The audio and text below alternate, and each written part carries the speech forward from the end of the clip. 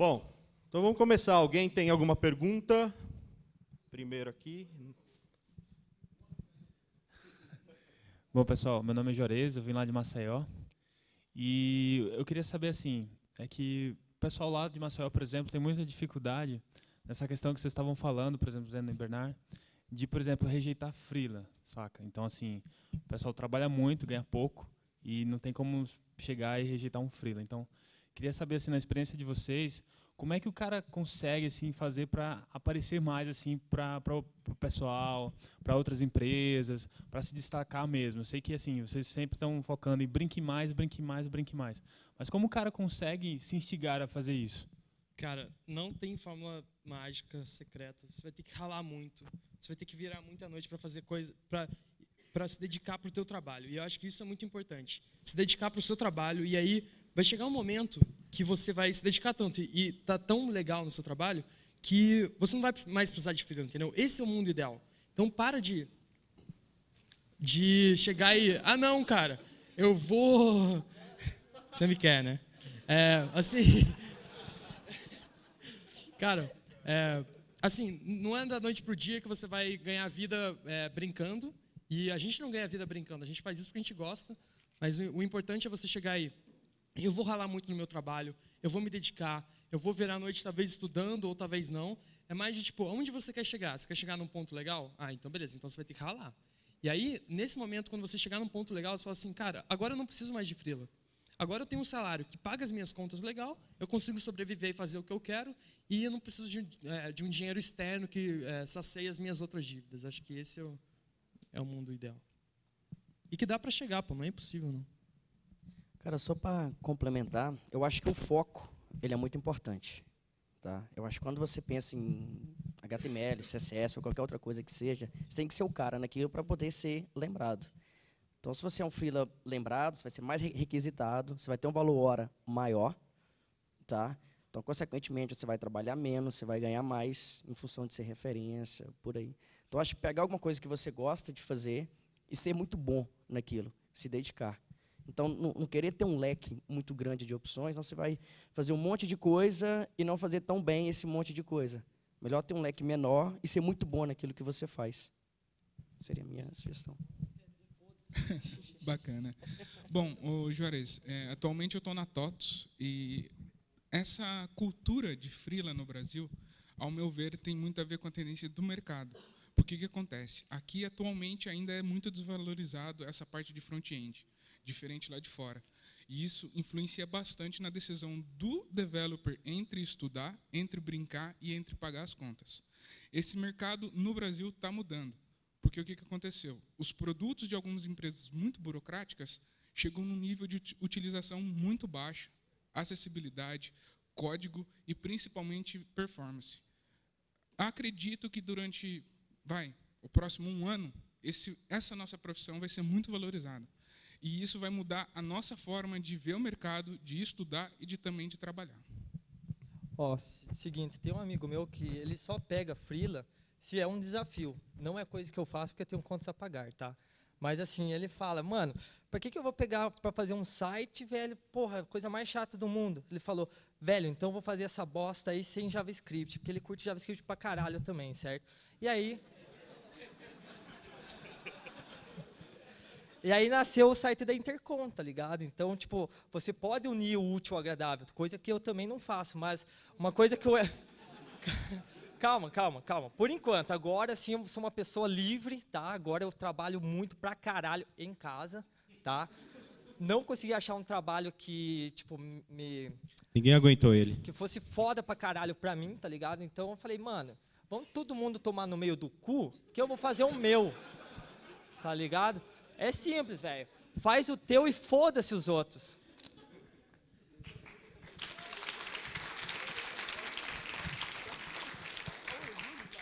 Bom, vamos mais uma pergunta aqui. Sua camiseta. Bom, meu nome é Elvis, né? Assim, como foi falado muito ligado à front, hoje uma realidade que a gente, pelo menos, tem visto muito, e até mesmo eu participo, é a questão de CMS. Hoje existem muitos CMS, é, Joomla, WordPress, Drupal, Magento. O que, que vocês acham disso hoje, que é uma realidade que envolve muito toda a questão de desenvolvimento hoje front e web, né? O que, que vocês acham disso? Qual que é a visão de vocês isso? não deixem te enganar, velho. O Drupal é muito melhor que o WordPress, mano. Sempre, tá? Mas não é mesmo. Bom, vamos lá. Eu acho que eu sou muito suspeito para responder essa pergunta. Bom, para quem não me conhece, eu fundei a, a PIC, que foi a primeira empresa brasileira a ser 100% focada em WordPress. Tá? A gente tem o Drupal, muito bom, o Joomla, muito bom, o WordPress, excelente, muito bom também. e, tem, e tem mais de 100 outras opções que eu falei com vocês. Então, um pouco do foco, que eu falei com você no início, cara, pega um e se dedica. Vira referência naquilo. Então, acho que hoje tem empresas que já chegam pedindo, olha, eu quero meu site com o WordPress, com o CMS, com aquilo. Porque desenvolver, cara, interface para publicação de conteúdo, isso não existe mais. Tem a, a LifeRay, não sei se é, é, é open source também, diversos outros. É muito bom, o mercado pede muito. E o WordPress, só para você ter uma ideia, hoje ele tem 17,7% de participação de mercado mundial. Joomla, se não me falha a memória, 2,7% alguma coisa assim. O Drupal, 2 ponto alguma coisa também. Está numa linha assim, quase nada. Você pega do último ano para cá, Joomla e Drupal, sabe? WordPress, por aí. Então, acho que CMS hoje é um caminho sem volta. Tá?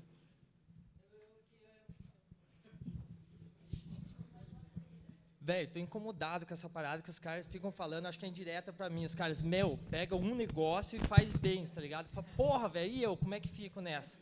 Tá ligado? Tudo bem, velho, eu faço um front-endzinho, eu faço um back-endzinho, eu faço um bancozinho de dados, tá ligado? Mas essa porra toda é JavaScript, meu irmão. Entendeu? JavaScript. Tá? Tinha que sair fogo. Olha, só isso, JavaScript, pessoal. Assim, deixa eu só complementar. É, você falou, focou bastante WordPress, né?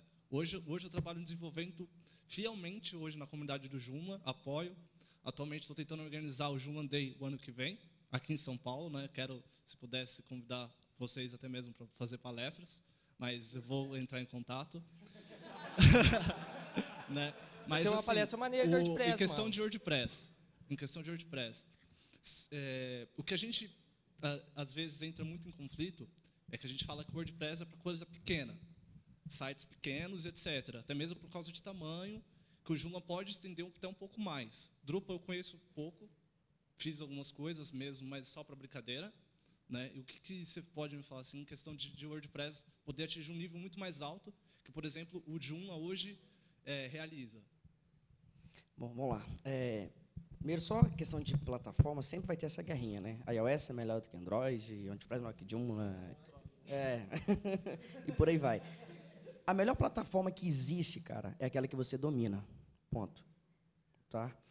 Ah, o WordPress não tem limite. Pelo menos para gente que domina, a gente faz qualquer coisa. Dá o exemplo do Imarsys. A gente converteu o Imarsys agora para WordPress. Tá? Então, foi 10 anos de legado que a gente converteu. Um trabalho, foi um grande desafio. A gente fez lá na Abril, Playboy, Placar, VIP, Men's Health, Alpha, Clube Alpha, tudo WordPress. A gente atende também algumas coisas do Buscapé, Lomadi, é, cara, muita coisa, muita coisa, tá? O, WordPress, ele se posicionou como plataforma de blog. Então, tem muita gente ainda que enxerga o WordPress com uma visão preconceituosa. Acho que é para blog, acho que é para sitezinho, mas não é.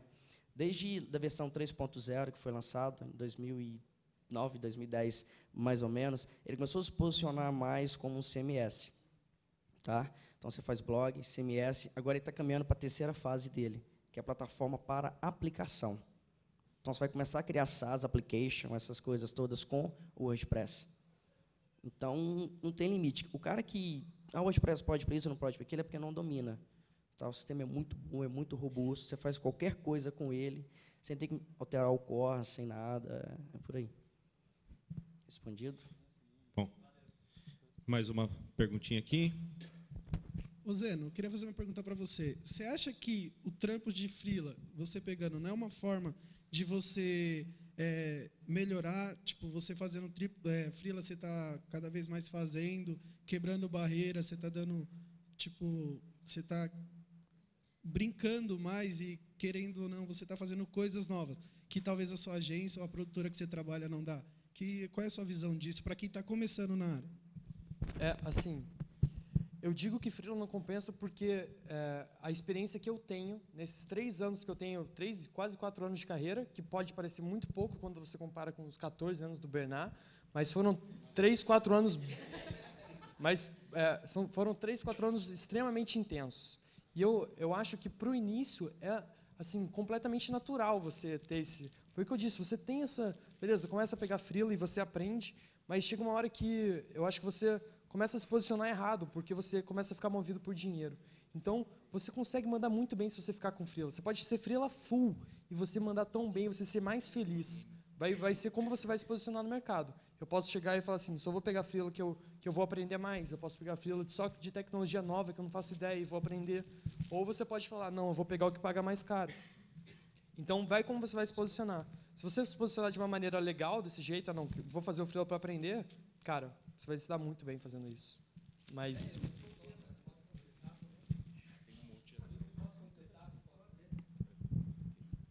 É assim, além de você brincar, tá ligado? Eu acho que é o seguinte, os caras brincam porque eles já sabem pra caralho, tá ligado?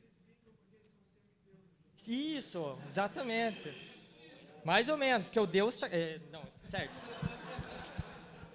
Velho, só que assim, cara, antes de você brincar, porque, velho, brincar, tipo, você já tem que conhecer a parada, tá ligado? Então, primeiro você tem que se desafiar, tá ligado? Então, você chega lá, porra, é, você sabe WordPress, aí o cara quer um, um site em Drupal, você fala, se, se for da sua, né, fala, cara, eu vou aprender essa parada, tá? alright, alright? Então, você vai e fala, pô, vou pegar então, vou passar um tempo estudando, né? Eu estou tentando mudar as palavras que eu gostaria de falar, entendeu? Estou indo bem? Estou conseguindo? Vou tentar terminar a frase sem falar palavrão, tá? Pô, agora até já esqueci. Não, tudo bem. Se desafia, velho. Aí quando você começar a ficar bom, isso, aí você começa a brincar, tá? Então é só isso, desafio. É, eu, eu nossa, tá, saúde. Eu, eu acho que o brincar é uma coisa que não tem nada a ver com trabalho. Você pode fazer isso. Eu faço isso desenhando. Eu faço isso desenhando a parede, que eu tive que devolver o apartamento agora, eu tive que passar quatro mãos para poder tirar o que eu fiz. Aí que eu aprendi que é mais fácil usar uma tela. Eu acho que não tem nada a ver com trabalho, sacou? Aí você está se divertindo. Se você conseguir, conseguir conciliar isso com o seu trabalho, melhor ainda. O que, o que eu acho que a gente ataca o Frila é viver para Frila. Ou seja, é claro que você pode tirar um por mês para poder você tentar um, um que te desafie. É lindo isso. Chegar um e falar, pô, cara, tô querendo fazer isso, isso, isso. Quer fazer? Não. Eu falei, não. Não quero. Ah, mas não quero saber nem quanto, quanto custa. Não, não quero, não vou fazer. Aí pode chegar um camarada teu e falar, cara, tô querendo fazer uma parada que vai para a NASA, que vai para a Lua. Pô, eu quero fazer. Você nem perguntou quanto custava. Você quis fazer. Porque você sabe que aquilo te agrega como projeto. Você bota tesão naquilo. Essa que é a diferença. Fazer para ganhar dinheiro, você está perdendo tempo de aprendizado porque você não aprende o suficiente para fazer um freela, porque você não dedica tempo suficiente para isso. Você quer apenas entregar o projeto. Agora, quando é um projeto pessoal, você vai aprender, porque vai destinar todo o seu tempo para isso. E aí, no final, tem um aprendizado. Eu não acho, é, é, é, o único ponto que eu discordo do, do, do Suíça, talvez acho que da colocação dele, porque eu acho que, não, não sei se ele quis falar exatamente isso, que é que você não precisa aprender primeiro para depois começar a brincar. Eu acho que ele, ele, eu entendi o que ele quis dizer, mas acho que ele colocou de uma forma que pode dar uma dúvida. Eu acho que você tem que brincar ao longo do que você está fazendo sempre, porque você tem que estar tá sempre se divertindo. O, o, o, Luiz Felipe que fez o Cashman, com certeza ele não sabia fazer uma coisa até ele tentar fazer. Foi uma forma de se desafiar e falar, pô, o cara conseguiu fazer isso, acho que eu consigo fazer uma coisa parecida. É claro que ele aprendeu pra caramba a percepção de como fazer os elementos e combinar e etc e tal para poder fazer. Old Radio, a gente não tinha a mínima ideia como é que a gente fazia aquilo. A gente tinha um desafio, a gente parou e fez. Esse bagulho que a gente mostrou hoje, que até então a gente não tem nome para isso, Cara, eu nunca vi um projeto parecido com isso. Deve ter, talvez, um atendimento melhor, ótimo. Eu não estou querendo desafiar ninguém. Eu só estou querendo eu fazer uma coisa que eu me divirta. E eu e Zena, a gente começou a aprender, botar key down, e a gente tinha que fazer a música da loop para quando a gente pressionar, tirar e pressionar de novo, começar do zero. Não são coisas tão simples. A gente teve que pensar nisso porque a gente queria fazer o mais real possível. Um outro exemplo muito simples que estava de dificuldade nesse problema. A gente tinha que fazer. Um, o teclado, não sei se vocês sabem, quando você usar o keydown, você só consegue ter três no máximo. Se você botar o quarto, o teclado não identifica. É um problema de, de, de informática. Não é um problema de web, é um problema de informática. Então o que que a gente começou a fazer? Se eu clicar com o mouse, ele segura. Aí eu consigo deixar a batida segurada e aí eu fico só com os teclados. É, uma- é um pensamento que só gera através de um aprendizado. E o aprendizado só gera com dificuldade. E eu não acho que o freela é o lugar ideal para você ter dificuldade. Até porque tem um cara te contratando. Ele precisa de uma qualidade. Você tem que ser responsável para poder pegar um projeto. É aí que eu acho que o freela talvez não compensa nesse sentido. Brincar, fazendo um desafio próprio, eu acho que você vai no teu tempo, na tua qualidade, aprendizado de forma divertida. E, cara, deixa o freela lá para uma pessoa que precisa de verdade, sabe? Bom, é, mais uma perguntinha aqui. Pedir para quem estiver perguntando para rodar em todo mundo ali. A Priscila está ali tristinha, o Sérgio também, ó, não falaram ainda. É, Luigi. É uma pergunta sobre o É, Brasil é- é- JS. é Eduardo. Mas se quiser chamar de Luiz, ele falou que gosta. Ele falou que gosta. Então, ah, sobre o Brasil JS, existe um preconceito muito grande sobre o JavaScript em si. Principalmente para o pessoal de back-end, de Java, PHP. Tem, tem um preconceito muito grande. Preconceito. Nossa. É, é pro Luiz, é pro, é pro Sérgio? Ou é pro Eduardo? Ou é pro Zeno? É pro Zeno. Luigi? Ah, Beleza? e t- tá surgindo bastante coisa legal, como o Node.js. Ah, a Bra- o Brasil JS tá, tentando, com algum evento ou algum plano, para tentar quebrar esse preconceito. Porque esse preconceito vem principalmente da galera não conhecer. A galera faz POG porque não conhece como cria objetos em JavaScript e coisas do tipo. Eu acho que é um problema histórico, né? É, chegou um momento que, é, de repente, surgiu o jQuery e aí todo mundo começou a olhar para o JavaScript de uma maneira melhor, que falou assim, nossa, olha que rápido, eu consigo, com essa lib aqui, fazer coisas mais rápidas. E agora o JavaScript transpondo todos os limites que você pode imaginar. Você consegue fazer um helicóptero, é, você consegue colocar o JavaScript em hardware, você consegue colocar um Node.js, você consegue fazer um 3D com WebGL. Então o JavaScript está chegando num ponto que está todo mundo assim, uou, uou, peraí.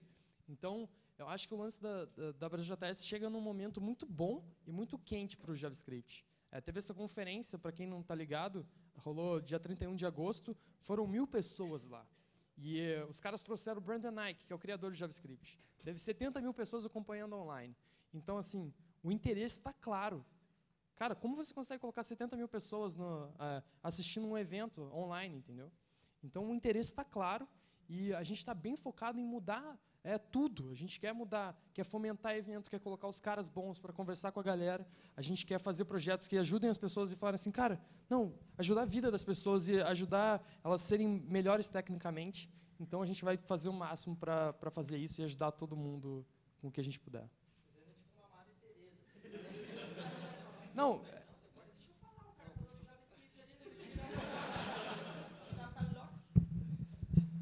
É, brincadeiras à parte, brother, mas você é aqui de São Paulo? Você já chegou. Ah, tá. É.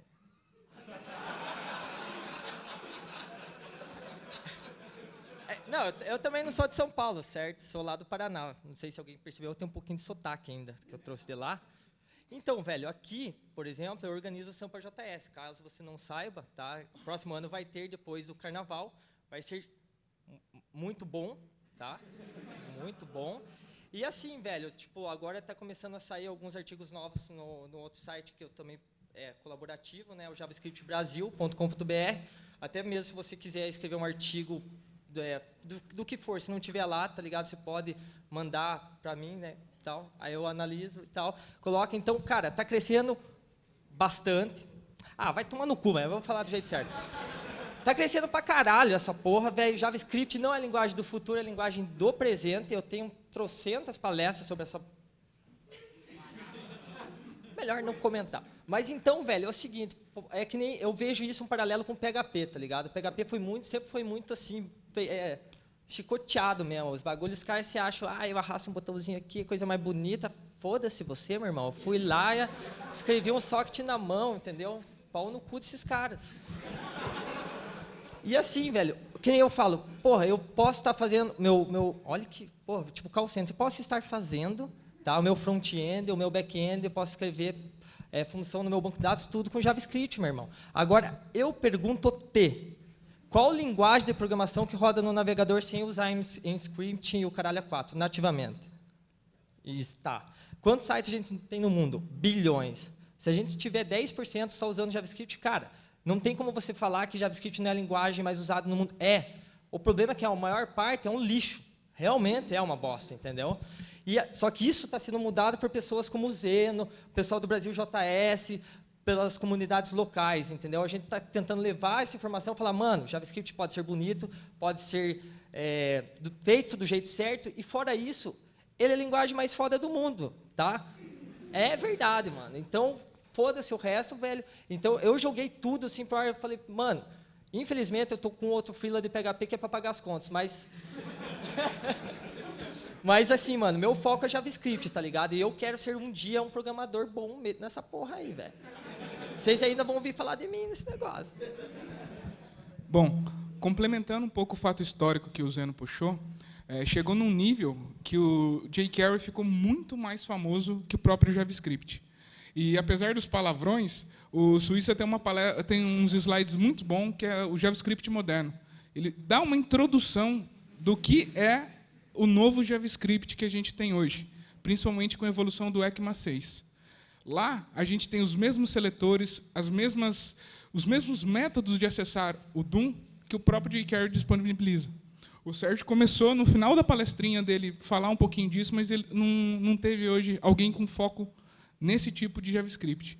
Muita gente hoje usa jQuery simplesmente para seletor. Ele não sabe a API, não sabe usar jQuery, usa simplesmente para selecionar div.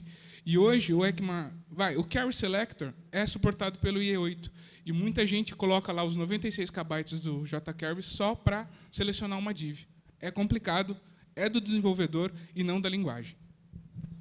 Bom, vamos rodar mais uma aqui. Boa tarde, gente. Meu nome é Rafael.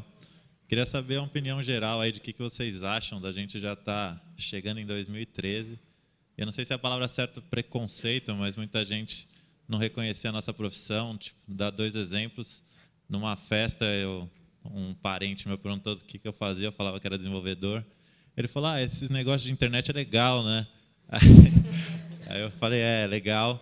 E uma outra coisa, numa outra agência que eu trabalhei, que era uma agência menor, eu trabalhava perto da entrada, assim, e tocou a campainha um senhor de idade, falou que tinha gostado da, do desenho que tinha na porta e perguntou se a gente era uma agência e se a gente fazia site. Aí a moça que abriu a porta, ela falou, não, a gente faz sim. Aí ele entrou e falou, ah, vocês fazem agora? Aí eu queria saber o que vocês acham dessa meio que pastelaria aí que muita Cara, gente... eu acho que desenvolvedor hoje em dia é a profissão com o maior ROI que tem, sacou? Você pode chegar muito bem para uma menina hoje em dia e falar, pô, cara, sou desenvolvedor. Porque tu sabe que daqui para os nerds hoje em dia é a profissão de maior ROI, cara. Chega na boate e fala, não, sou, sou front-end, cara. Ela sabe que daqui a pouco tu vai estar tá ganhando 6, 7 mil. Pode demorar o tempo que for, tu vai chegar lá. Engenheiro, às vezes, não, cara. Já demora 10 anos para ganhar dinheiro. Tu ganha, tu ganha. Front-end é a única profissão que você ganha antes de saber. Você, muitas vezes não se forma, mas você já faz frila, cara. Sobrinho está aí. Entendeu? Exa eu faço, eu faço isso. Eu faço isso. Eu faço isso. Eu falo, eu falo, ah, mas pô, mas é legal, você faz o Facebook, eu falo, cara, já viu o paparazzo? Front-end, cara. E aí você pode falar, sabe quando você está vendo paparazzo, que você pode parar de usar o mouse e começar a usar o teclado para mudar as fotos? É isso. Você tem várias formas de falar, cara. Claro que eu não falo isso pro meu pai. Mas eu falo pro meu pai. Assim. Mas, sério, é, é, muito fácil, assim. Eu acho que, primeiro de tudo, ninguém é obrigado a saber o que a gente faz. A gente, a gente tem que saber o que a gente faz. Acho que isso é o mais importante. Minha mãe não tem a mínima ideia do que eu faço até hoje. Acho que ela não sabe nem que eu me formei. Mas o importante é você ser seguro de você explicar qual é a tua profissão e saber o lugar dela, para poder também as pessoas não estarem te jogando de um lado para o outro, dentro de uma agência, dentro de qualquer emprego que for. Fora isso, cara, você sabe o que faz um engenheiro elétrico? Eu não sei, tem mínima ideia. Meu irmão é. Não tem a mínima ideia. Pronto, é uma profissão muito mais antiga. Então, para mim, não vejo muito problema. Nós consertamos computadores, cara. É mais, mais fácil.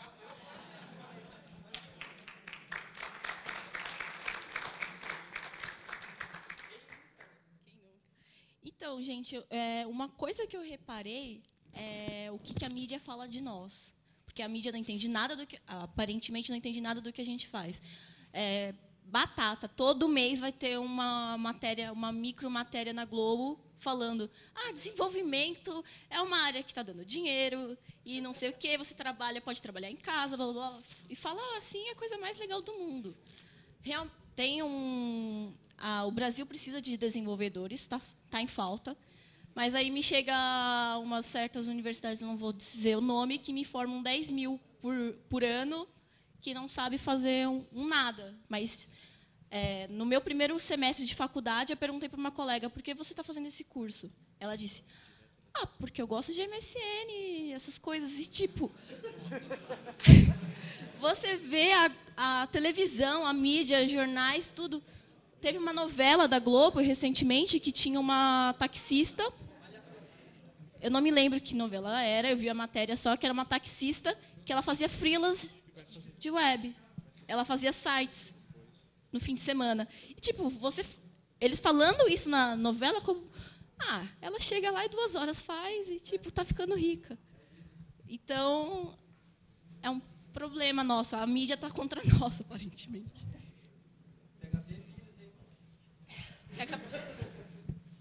É, eu não entendi sua pergunta mais assim, que TI, em geral, é mal visto ou front-end mal visto. Porque TI, eu concordo com, com o Bernardo. Tipo, tá chovendo dinheiro oportunidade e, assim, em qualquer lugar. Em São Paulo não tem ninguém desempregado. É, para tudo. O front-end, eu, eu, eu sei que tem um, tem um certo preconceito, né? Até eu acho mais que o pessoal de TI, em geral, o cara fala, não, o cara é back-end ali, programa o .NET dele, o Java dele, ele é fodão. O cara que trabalha com HTML é sobrinho, né? É, mas é isso. Eu vejo mais isso até do que como tem em geral. Então não sei se qual dos dois você estava dizendo. Mais em relação ao front. Né? Então, então eu queria dar um depoimento para você do, do, que aconteceu na minha carreira. Eu comecei a trabalhar com, com mais com front-end 12 anos atrás. Comecei por aí. Um pouquinho de PHP bem mal feito é, e, e, bastante HTML e tal. E aí, eu, minha conclusão era, lá em 2000, que se eu trabalhasse com HTML, as pessoas não, não me levar a sério, certo? Então, entrei na faculdade de computação, mudei completamente para back-end, fui é, para Java, me aprofundei assim absurdamente em Java, lancei livro é, de Java avançado e até não poder mais. E nesse meio tempo mudou completamente. Então, o que eu acho assim hoje o mercado de front-end é extremamente propício, sabe, para gente é, eu, eu mudei minha carreira de volta, sabe? É, eu, sempre, eu sempre gostei, eu falava de fazer o que gosta e tal, né? Sempre gostei mais de HTML e essas coisas todas, só que, cara, eu trabalhava com HTML quando o IE6 era o browser bom da época, certo?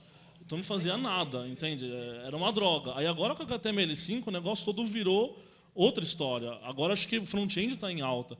Eu acho que esse é um momento que a gente devia investir em front-end como carreira também, sabe? É, eu ainda trabalho com back-end e tal, tenho empresa lá que tem um monte de coisa de back-end e tudo mais. Só que, é, de um tempo para cá, eu tentei o máximo possível ir para front. Eu comecei a submeter palestras para tudo que é evento de front, coisa que antigamente, eu, quatro anos atrás, você me encontrar em tudo que é evento de back-end. É, agora eu nem submeto mais para de back-end. É, eu submeto de front, sabe? E acho legal isso, porque eu acho que é meio o que você falou, sabe? É, o front é mal visto? Eu, eu acho que era eu tenho a impressão de que isso está mudando. É, tanto que eu desmudei minha carreira de uns anos para cá, sabe? Porque eu acredito nisso. Hum. Gente, fazer uma última perguntinha aqui para encerrar, que a gente já está com o tempo em cima. Bem, boa noite, meu nome é Russani. É, uma coisa que está em alta, além do, além do front-end, acompanhando, na verdade, é o open, open source. Eu queria saber como é que o open source é, ajudou vocês na, sua, na carreira? Como que foi para vocês conseguiram um trabalho com open source e tudo mais relativo a isso? É uma coisa que eu queria, assim, open source é uma coisa bacana porque eu já vi muita gente quando vai contratar alguém querer ver o que que você já contribuiu. Isso eu não sei se todo mundo já passou, mas acontece. É, e, por exemplo, eu estou aqui de penetra, eu não sou front, eu trabalho com back com tecnologia Microsoft. E podem, podem atirar tomates. Aí, quando você vai em um. Eu vou em vários eventos e todo mundo, quando você fala Microsoft, eles não querem chegar perto de você, apesar da Microsoft ter apoio em projetos open source. Ela tem até os dela. Mas eu vejo que você perde parceiros, você perde oportunidade de aprender, muita coisa que você poderia ter aprendido com open source. Eu trabalho agora com um Entity Framework, que é um open source da Microsoft. Todo mundo deve torcer o nariz por causa disso, que não é totalmente. Mas é o que eu vejo, que quando você trabalha com open source, você aprende, você cria chances de fazer parceiros com outras pessoas, e até os contratadores agora perguntam qual projeto você já contribui. Então, é uma coisa que está importante agora, pesa. Cara, sabe por que eu acho importante open source? Porque hoje eu ganho meu salário trabalhando num projeto open source. Hoje eu estou numa empresa que eu estou tocando um produto que ele é inteiramente open source. Isso é a coisa mais linda do planeta, sério. Quando eu recebo meu salário, eu falo, cara, isso está muito errado, pô. Como assim? Eu estou ganhando dinheiro por por estar tá ajudando num projeto que está aberto e todo mundo pode ajudar. Eu acho que a minha, o meu recado é, se você não levou, não tirou nada do evento hoje, sei lá, saiu hoje, não aprendeu nada, só saia com uma coisa na cabeça. Cria uma conta no GitHub se você ainda não tem e começa a jogar código lá. Você vai jogar um monte de código horrível que vão reclamar e vão falar, nossa, que droga, você é uma, um péssimo desenvolvedor. E aí você vai lá e vai corrigir. Então, eu acho que o projeto do o For Me, o jQuery Boilerplate, eles ilustram muito como foi a virada da nossa carreira, cara. Eu acho que o projeto open source é muito importante mesmo. É, para chover no molhado também, open source eu acho essencial para qualquer desenvolvedor, é, qualquer coisa. A gente lá na Camel também tem, tem projeto open source próprio, tem projeto que a gente contribui. É uma empresa que paga para os desenvolvedores fazerem projeto open source. É, além disso, tem projeto open source pessoal. É, eu acho que é essencial para criar carreira. Quando alguém bate lá na Camel para pedir emprego, aliás, até comentei que a gente está contratando instrutor. A primeira coisa que eu pergunto é: me dá seu login no GitHub e me dá o o, o que, que você tem, é LinkedIn, mas o que, que você participa de lista de discussão? Algum fórum, alguma coisa? Porque open source também não só de, de código, mas acho que open source de conhecimento também, sabe? É participar de lista, é, evento, esse tipo de coisa. Né? E acho que só vai, só vai fazer bem para sua carreira, sabe? Os melhores empregos hoje, o cara vai te perguntar de open source, com certeza. Só um complemento muito importante, principalmente para os brasileiros, a gente não tem muita cultura de doação. Eu acho que quase 100, 99% das pessoas já usou algum projeto open source na vida para ganhar grana. WordPress, jQuery, qualquer outra coisa. Formi, Sublime. Cara, todo mundo, querendo ou não aqui dentro, tem um projeto open source. Você fatura, você, você ganha em cima disso. Agora, por favor, levanta a mão. Quem já doou, nem que seja um dólar, um real, para algum projeto open source? Não, vale, é legal. Assim, é importante que a gente tenha essa cultura também de voltar, sabe? Ou seja, peguei um projeto, usei esse, esse e esse. Cara, pega um dólar, saca? E doa.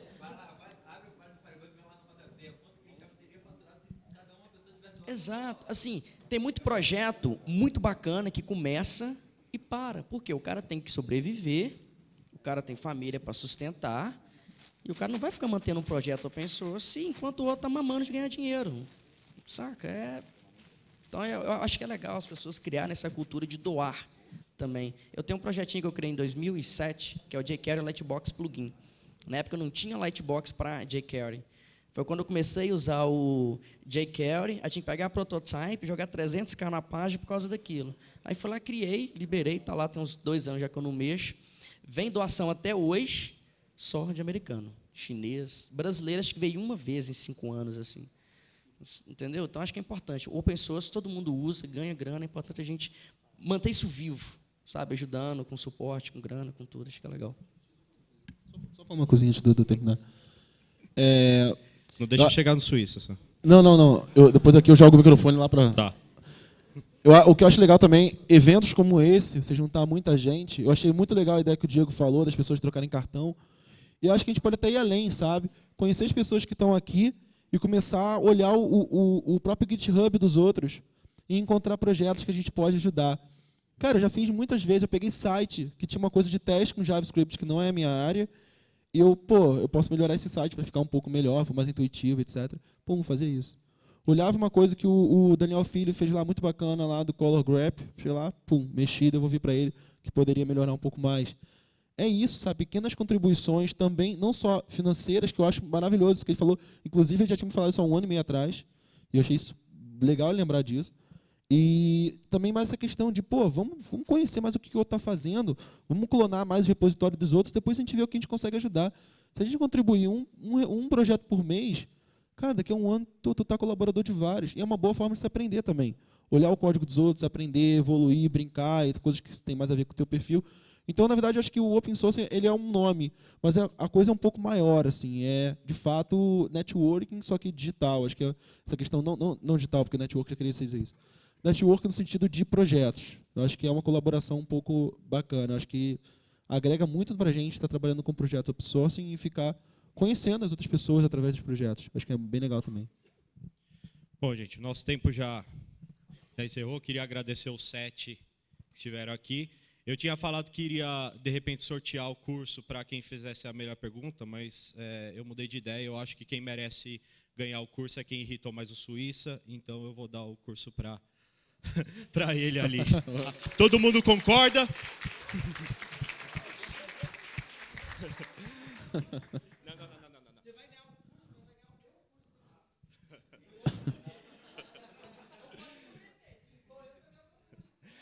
Bom, galera, se vocês quiserem saber mais sobre o Sete Masters, setemasters.imasters.com.br e obrigado para todo mundo. Aí. Beleza.